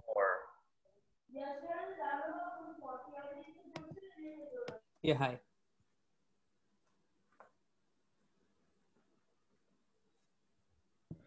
All right, team four, you ready? Yeah, yeah, I'm ready. Yeah. The time starts now. Go ahead. Hi, we are presenting our product, COVID Cloud, which aims to provide a hassle-free and efficient experience for all patients who want to get admitted for COVID care by bringing the private and public healthcare institutions in our ecosystem and providing dynamic and real-time updates about the hospital facilities to the public. Next slide.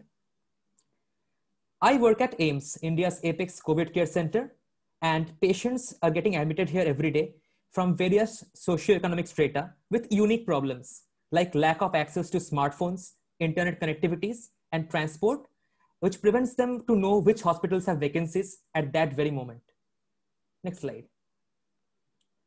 And it's just not my patients in Delhi, but this problem, as you can see, is everywhere. And the patients are dying each day due to lack of timely care. Next.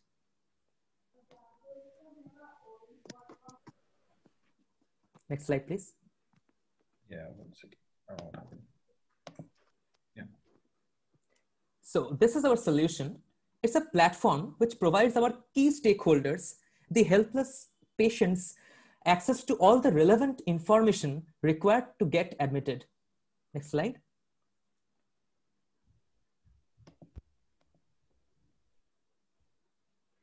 And this is the interface of our digital application. And using our portal, patients can make informed healthcare decisions and also reserve a bed at a private institution by accessing data about their facilities real time and also by considering the cost. They can also connect with healthcare representatives and volunteers and necessary ancillary facilities. Next slide. And the most unique feature of our platform, which has tremendous public health potential, is that we provide native language support to our digital users. And our platform is also accessible by the non-smartphone users via a toll-free number and the patient's USSD feature. Now Shreya will continue. Next, Next slide, slide, please. Here's a visual representation of the competition, right? To draw a comparison, we have taken Aarogya Setu app, Delhi Corona, and Swasth apps that have a wide user base. As you can see, most of the features that we offer are not currently in use, and hence this is our main focus. Next. About the business aspect of our platform, after doing our market research, here's a clear breakdown of expenditures as software development, operations, and other expenses. We have opted for the blended revenue approach where majority of our revenue is based on in-app ads, a portion from the services fee from private hospitals, and also inclusive of other miscellaneous sources and intermediate stakeholders. Next, please. This is our roadmap. The POC is a well-researched user and reach access data. The business aspect includes the launch and software development at stage one, reaching a net profit at stage two. Stage three would be scaling up. Our current product includes the start version with real-time data as mentioned before. And as we progress, different specialities would be added and ultimately reaching out to telemedicines and doctors as a product. Next slide, please. This is our team, and we are from a professionally diverse background with expertise from all domains in order to implement the business. Next, please. This is just a glimpse of our network that we can reach out to for support to, in making COVID Cloud a reality. Thank Yep. you. We're going to stop you here. Thank you. Yeah, thank you. I would like to invite the panel for their questions. I think you could switch back to the team slide, please. Thank you.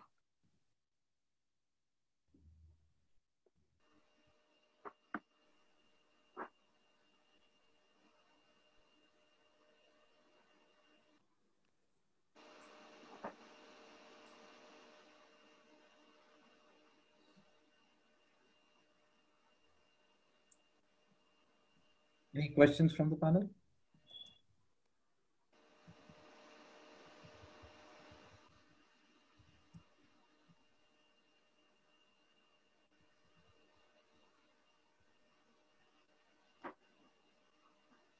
And no questions from the panels? We move on to the next team. Thank you. Uh, Niharika here.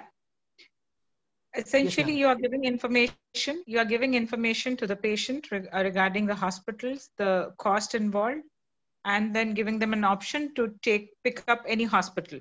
Is it it? Yes, ma'am. Okay.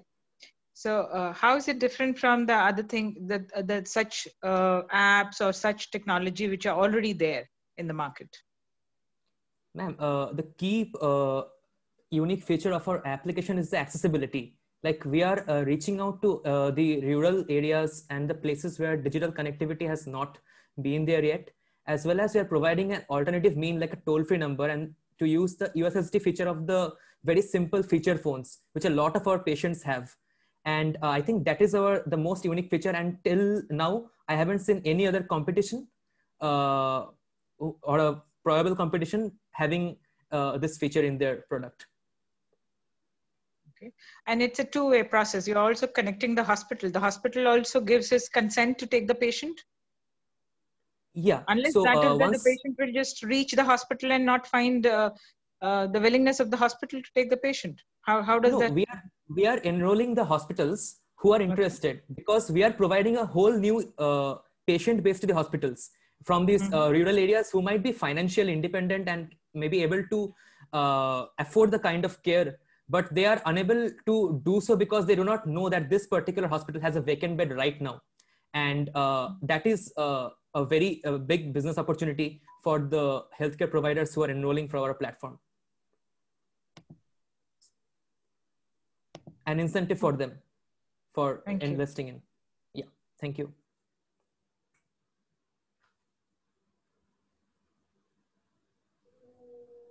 Any further questions from the panel?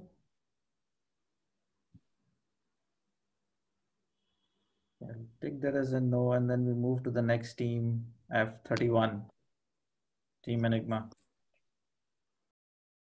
Are you guys ready? We're good.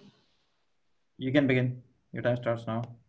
Okay, um, the slide. Okay. Uh, hello, uh, I'm Prahlad from uh, Team Enigma, and we are combating how private charge, uh, private hospitals overcharge for, uh, for treatment for COVID patients. Next. Um, so what is the issue? One of so the issue that we noticed was private uh, private hospitals were charging more than the government mandate. There exists a government mandate uh, that says that hospitals, private and government, are allowed to charge only a certain amount, uh, amount and uh, private hospitals are either unwell or they're, will, they're willfully charging more than the capped uh, price. Next. So, uh, so, so who, uh, why are we the best people to solve this? I was personally COVID positive and we spent about two days haggling over uh, during the discharge process with the, because the hospital was unaware about how to discharge me with regard to where they would get the money from and all of that. And they had billed a whole lot of stuff that wasn't uh, required. So, uh, so this impacts the lower strata of the society as well. The lack of awareness about amenities available to the lower strata of the society shouldn't be why somebody has to forfeit their life savings when there's other alternatives. Next. So the target audience is um, the Bommanahalli zone in Bangalore, Karnataka in India. So I work out of the COVID, uh, I work out of the COVID war zone in Bommanahalli right now. And we're targeting the lower middle class people, especially people that end up going to uh, hospitals with very little money. Um, and uh, the private hospitals within the Bommanahalli zone that are unaware, these would be our immediate target audience. We aim to get through them through radio, newspaper, SMS blast, and through social media. Next. So our solution is to come up with a price calculator where we help the public make, uh, come up with a rough estimate on their own based on the government mandate as to how much they can expect to be charged. This is only an estimate and it's not a definite amount. So we would also be providing the government mandate so that the citizens would be able to go through the information themselves. We would also be completing the feedback loop using the support. Um, we would also be providing support information. Next. So this is uh, this is the website that we have built at the moment. Um, so depending on this, we'll be showing what the pricing uh, for uh, different categories of bed in different hospitals are. This information is coming directly from the uh, uh, from the government mandate uh, from the government mandate. So you have you have a field where you put in how many days you were hospitalized for, and depending on what bed you were hospitalized in, uh, what bed you were allocated, you would be able to come up with a rough estimate of how much you would be charged. Next. So how does it help? Uh, so this reduces price gouging by private hospitals that take advantage of the poor, uh, poor people because they have no idea as to how much they need to charge. Um, this would provide people awareness and it would also help uh, organize the public and uh, private efforts from uh, separate organizations. Uh, patients that do go to uh, hospitals independently, they would also have an estimate as to how much they'll be charged beforehand. That way they don't get blindsided. Next. So our implementation plan, uh, so in the Bommanahalli zone, we have about 85, um, 85 uh, private institutions, out of which most of them are PHCs. We have, uh, we have, we have a whole, uh, we have a lot more hospitals, and we have one room out of which we operate out of. We have, uh, we have a website that's ready. It's not live yet, but um, it's, it's going to go. You are 50 minutes over. I have to stop you here. Oh, sorry, 50 seconds over. I have to stop you here. Thank you. Thank you. I'll invite the panel for their questions now.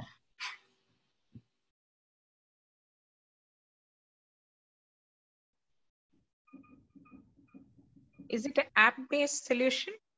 Um, no, ma'am, it's not an app-based solution. It's a website where people can go in and plug in their numbers, and based on that, they get a rough estimate of how much they'll be charged.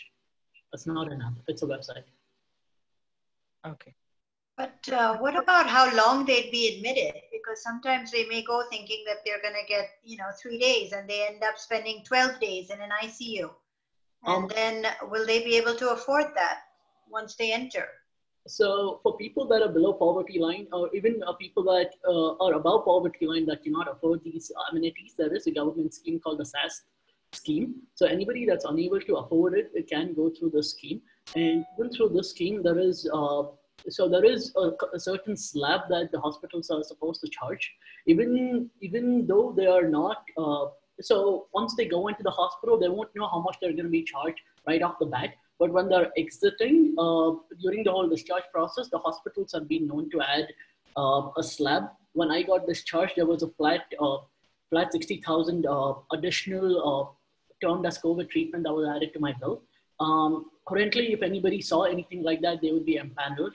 So, um, so yeah, hospitals are trying to rip people off, and by um, you know by making this entire information accessible, we'd, we'd be able to ensure that citizens are able to, you know, know how much they'd be paying. And if there is a situation where they're going to be charged a whole lot more, they can escalate it to us. Thank you. Uh, Great. Do we have any more questions?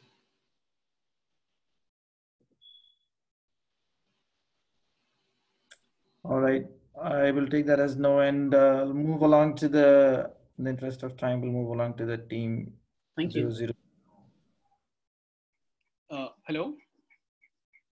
Sir, it's F002 if I'm not wrong. Yeah, it's F002. Read it as F002. Uh, sorry, there's an error on the screen, but the team is F002. Yeah, and Tracer.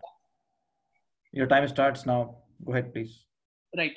We're in Tracer and we'll revolutionize contact tracing and sanitization forever. Here's how. Next. Binod and Rashi have a contact tracing app on their device. Next. Both go to the market and once back, Rashi receives a message on her app uh, saying contacted a COVID positive person. Now both get tested and it turns out that Rashi was COVID negative. Surprisingly though, Binod was tested positive, maybe because he came in contact with someone who had a potential COVID risk, but his app didn't show that. You see, the problem with existing solutions is that they only trace confirmed COVID cases, not the potential risks. And since COVID status is manually updated even at the databases, so it is prone to human error. Next, that's where we come into the picture. We have a device which scans an ID, checks the temperature, measures the SpO2, sends data to the server, and also sanitizes the person. Uh, we have a server which logs details, uh, creates multiple firewall encrypted databases for institutions, and data is privacy protected because we aren't using any personal data. Uh, and we have an app which traces contacts and collects details from the server. The magic here being that based upon the SpO2 and the thermal reading that, uh, based upon the SpO2 and thermal reading, we determine if the person is a high risk or a low risk individual. Next, please. So here's a flow diagram to help you digest the things better. Okay, next. So what's the use then? So Entracer enables governments and local authorities to segregate areas of high risk, change bed capacities in hospitals and ramp up testing. Besides that, to the private market, it allows for easy integration of data monitoring into any existing HRMS with the Entracer API. Next. So talking about the competition. So Entracer subdues most of the competition and ranks higher in terms of features and accuracy based upon all of these metrics that is up at your screens right now. Uh, it's very different from Google and Apple solution because A, it's hardware based and B, we aren't using any private data. Next, next please. So who is Entracer for? So Entracer for is built for all of these uh, all of these categories up at your screen right now, especially for institutions and offices. The total number being 26.1 million in India alone. Uh, can we move ahead with the next one? How many would Entracer impact? So Entracer would impact about 125 million people. Most importantly, 37.4 million people studying in those 39,000 institutions and about 40 million retail workers working in the formal industry. Next. Uh, speaking of numbers, Entracer is bound to break even in a month with the ROI of over 600% in the first financial year, selling at one third the price of a regular automated sanitization device. Uh, please go ahead. Next one. And we have a three year sales forecast to back those numbers. Uh, next, please. So far, we have built the prototype app with the dummy data for representation, the 3D model for the device, the schematic and PCB design for the circuitry as well. Uh, can we go ahead uh, to the next one? That brings us to our roadmap. So starting with rapid, proto uh, rapid prototyping and testing in month minus one, we aim to capture about 1% of the market share at the end of FY2. Meanwhile, expanding our target audience and production at, uh, at all of our areas of influence. And finally, next one, please. Behind Entracer is a team of four engineers who believe in creating impact before something else impacts us. Period. Thank you so much.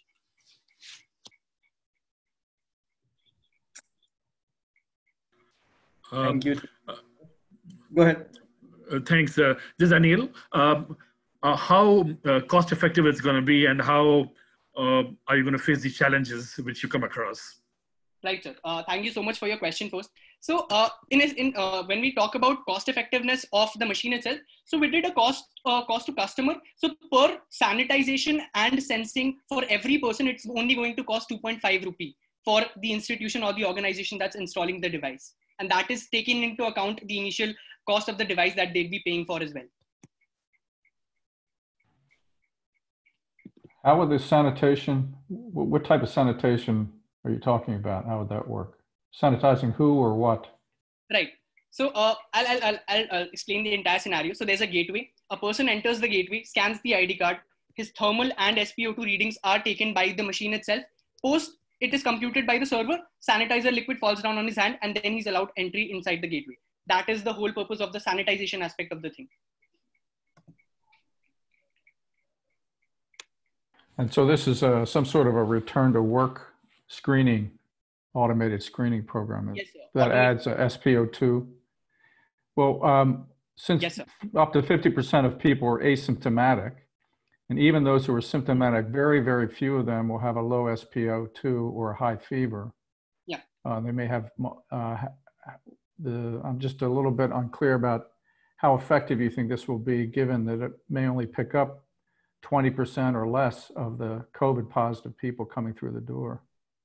That's that's that's uh, that's a very good question sir. But then again uh, it comes upon uh, it, it it becomes a question of how mature is the database. So once we have the databases running for about a month or so we have we'd be collecting so much of data that in future even if the percentages of the person who uh, who'd be detecting just 20% so on the basis of historical data we could actually predict what would be the number of people who have who are in uh, who are in the possibility of a high covid risk during that time so then again, it's a question of the maturity of the database. With time, the database will get mature and it'll be able to predict the same.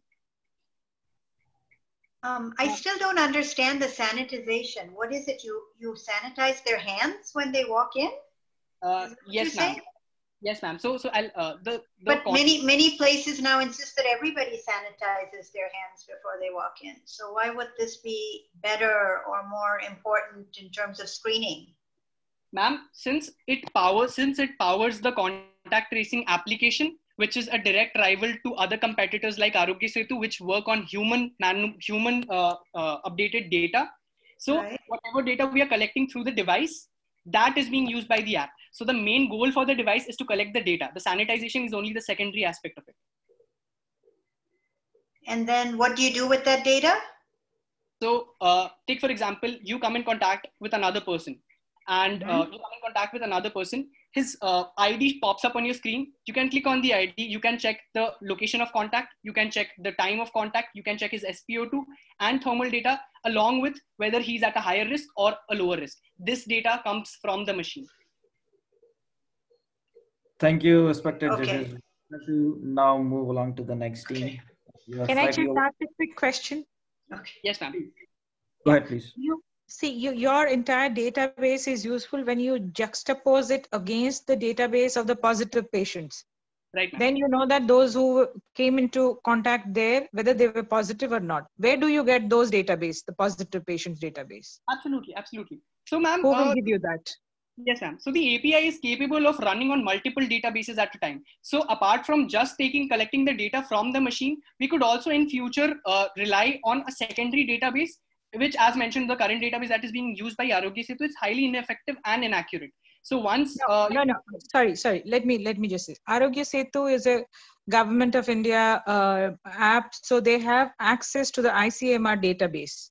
Yes, ma'am. Right, uh, those who turn positive, ICMR database gives it, feeds it to the uh, Aarogya Setu. From where you will get the data?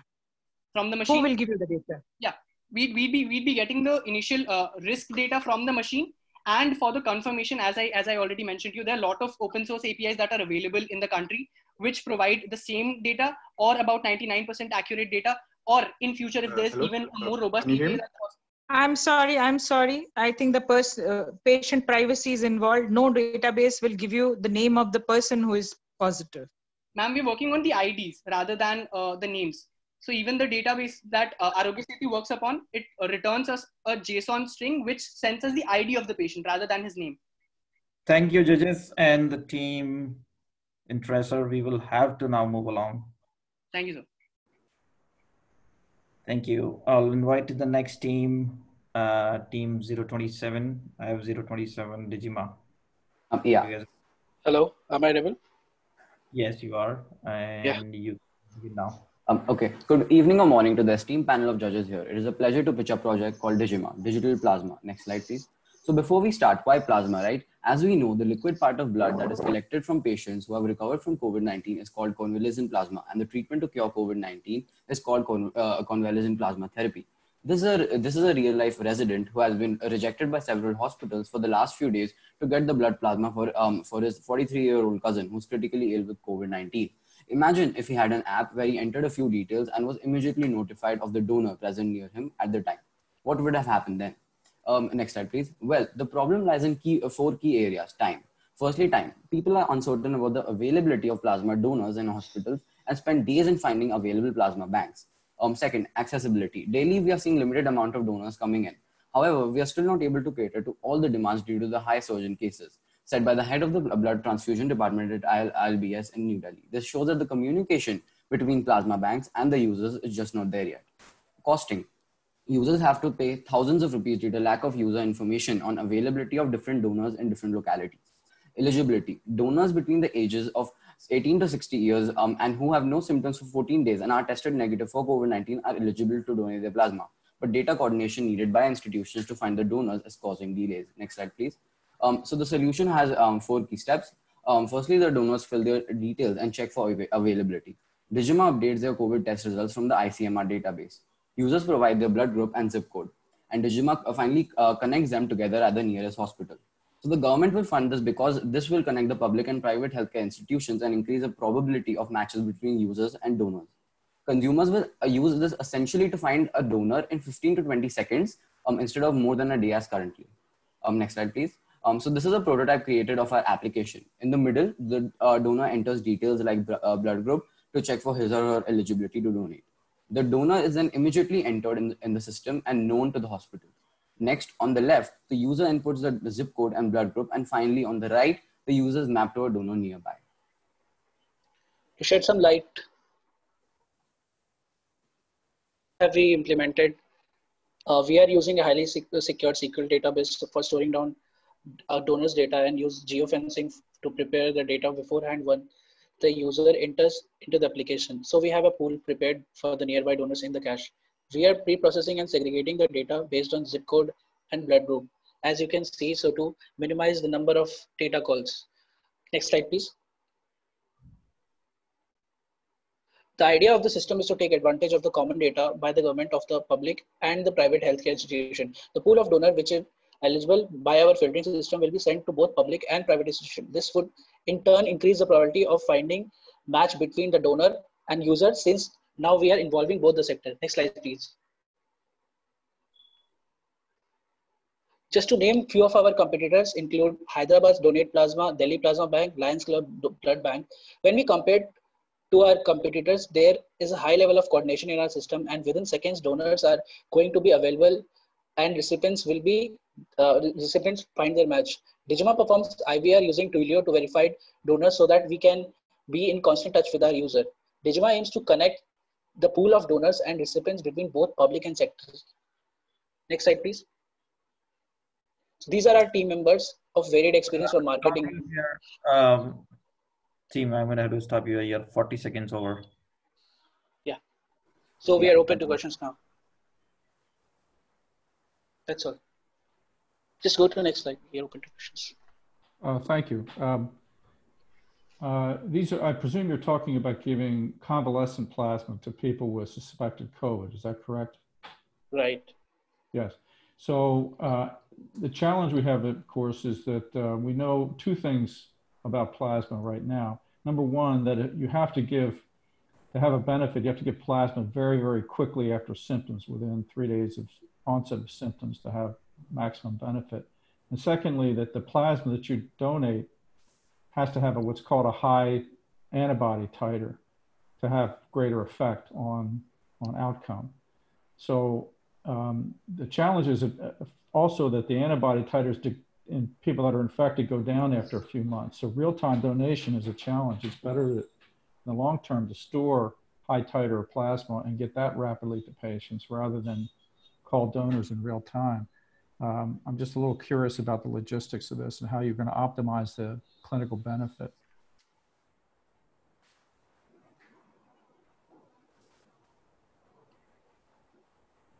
Um, okay, so um, yeah.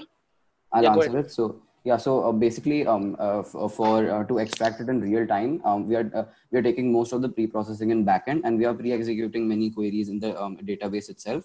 Um, so the turnaround time that we expect is minimum like um, around 15 to 20 seconds. And if this grows up, we have thought of it, and we can scale it by adding more resources in it.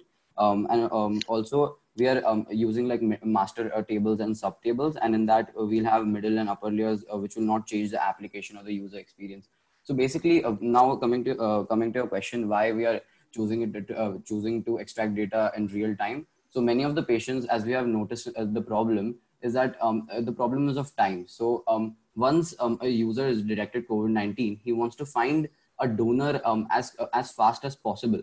And um, currently, it's taking more than one or two days to detect the same. And through the solution, we plan on effectively uh, reaching to donors as soon as possible and also um, looking at the locality in terms of the locality of the users. Yeah. Just to follow up, a donor is only going to be a good donor if um, yes, that donor yes. has high, high titer or is, um, you know, by the time the donor's waited three or four months, they're no longer a good donor. Um, yes, so um, our, our data is also uh, accessing the eligibility of the uh, donors. So we are asking them, um, like um, as, as, you might be knowing, the uh, our target audience for the donors are the ones who um, are uh, who have passed 14 days and have uh, recovered from COVID-19, and after 14 days they still don't show any symptoms. So those are the people we'll be looking for, and we have uh, we are um, asking them the days they have uh, from that uh, from that they have recovered and um, their age based on the eligibility. So what we are doing is we have an automated system. We have an IVR call placed. So for example, we are taking the statistics of patient whether he has covid or not multiple times so whatever the latest statistics have been entered in the system that is verified by the icmr database because icmr has all the records what we need so we can get it verified and whatever the latest statistics we have then we can compute uh, the 14 days after uh, after the onset and uh, Digima, uh, let's wrap this question up here. Uh, any last questions from the panel before we move to the next team? Are, are you putting this in the hands of patients to decide where the closest donor is, or are you putting this in the hands of medical practitioners to decide who is a good candidate for plasma?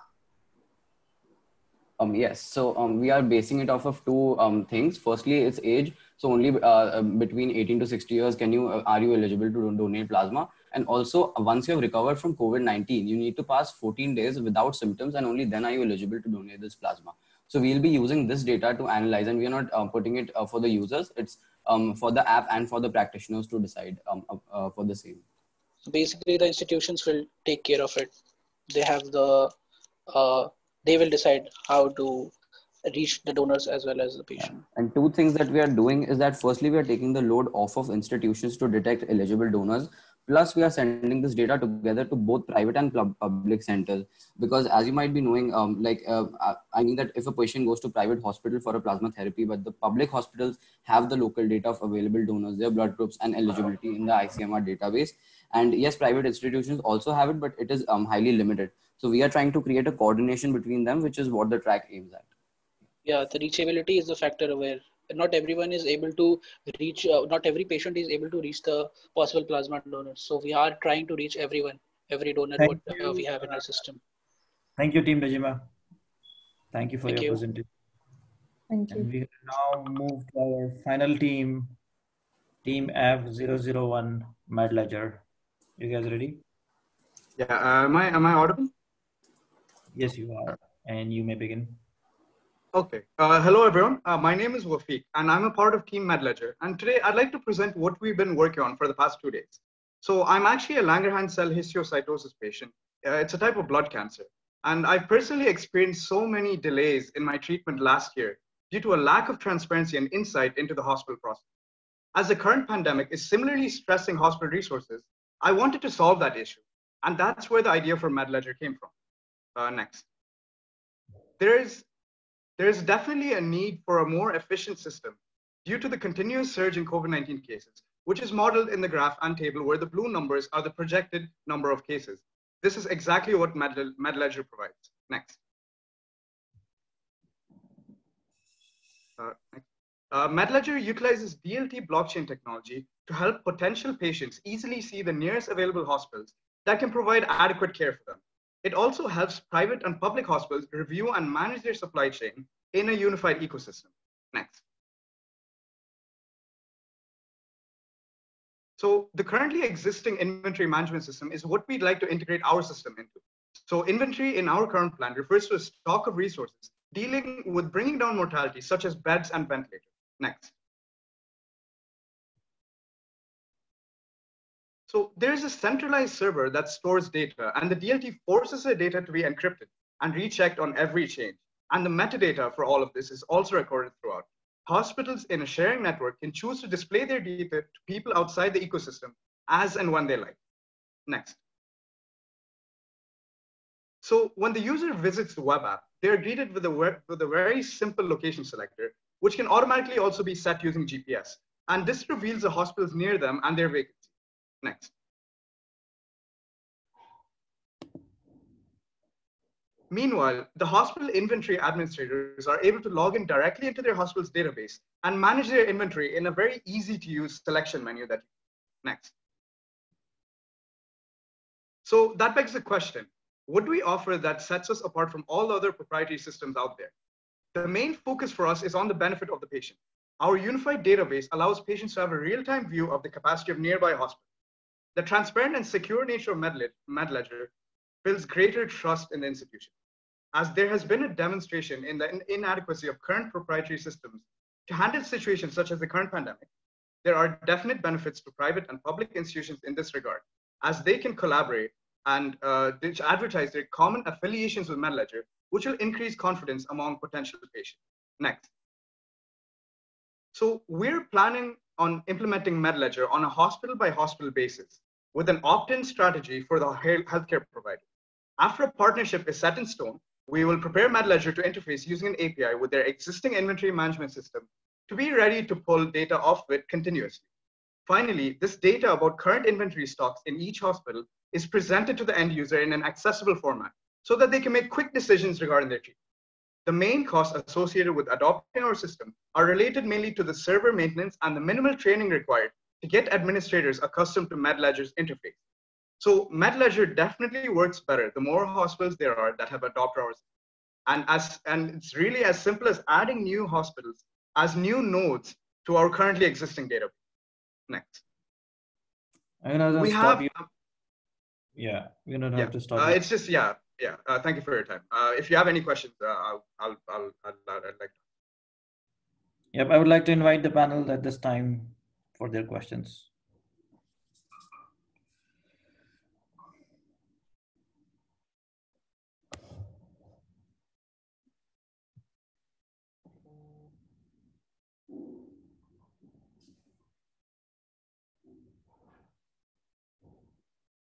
Any questions from the panel?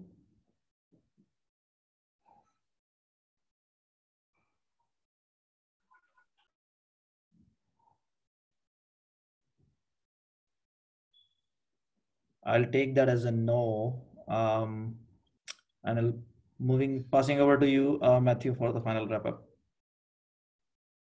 Thank you. Dr. Godrej, I saw you on mute. Do you have any questions for them?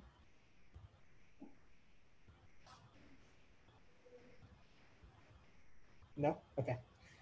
All right. Um, so the, the final slide is congrats. You all made it through. Um, as I think we had the conversation with a number of our pulse check-ins, you begin this hackathon very excited. Then you are thrilled to work on a new problem. Then you realize this problem is really hard. Spend a lot of time struggling. Hmm, how will we ever do anything to make any meaningful progress? Then, if you're able to keep pushing through, focus on your problem, you'll start to see the light at the end of the tunnel. And so uh, it's been great to see the progress that a lot of you have made from the first meeting all the way till now. Um, and another thing I'd like to emphasize is we hope that this has been very instructive in helping you all realize that you can have great ideas and build this into a solution. So we will be moving into the deliberation soon, but regardless of whether you win or not, we hope that you take this as an opportunity to work on a problem that you're excited and passionate about. All of these partners listed here are there to support you on any of these endeavors. So please feel free to reach out. Use this workspace as a continued resource to reach out to collaborators. Um, maybe it's not this precise idea. Maybe you pivot and alter it to something slightly different. Uh, but we hope that this serves as a great community for you to spur these innovations in the communities and places where you are. So at this point, we're going to break from this session. Uh, you have your keynote for the participants with Mr. Amitabh Kant at 11.45 a.m. Eastern Time, 9.15 Indian Standard Time. And then we'll move into uh, the winners and the award presentations at 9.30 p.m. Indian Standard Time and noon Eastern Time. Uh, so participants, you are dismissed. Uh, judges, uh, we'll move into a, a, break now while we organize and collect all of your scores. So if you have not submitted scores for any teams, please uh, do and submit that now for us to calculate. We'll then shoot you all a message on Slack to move into deliberations. Thank you all. Thank you, everyone. I'm going to close this meeting now.